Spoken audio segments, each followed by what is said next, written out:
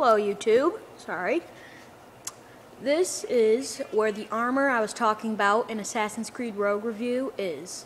So you gotta look for this symbol. If I can get my hand here. That symbol. That will get you to this little island. And you click that and you dock. You're gonna wanna come over here. It, it's called Templar 11th century armor, I believe it was. Come over here.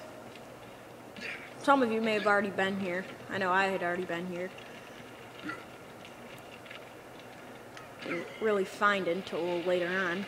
Yeah, penguins. There's usually some penguins just hanging out right there.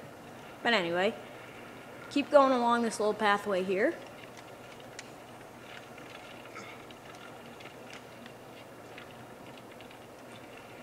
Then you drop down.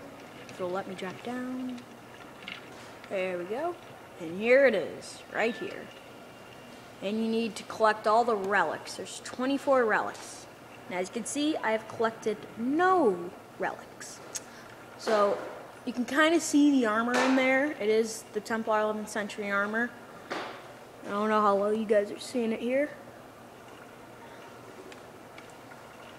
It's a nice little cross and everything. Once you collect all those relics, you unlock it, and it's like, oh, yeah, yeah, yeah, so cool, and you just throw on the thing and everything. It become really cool. There was also a Templar map up here, in case you were searching for those, because I was. Yeah, as you can see, I just blew up a bounty hunter over there. No one really tops any bounty hunters. It was right... Sorry, I can't really show you. See here? It's usually right about here.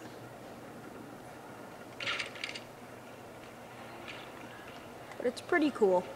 Anyway, I hope you enjoyed this video. This is just a location of armor and a map. Bye.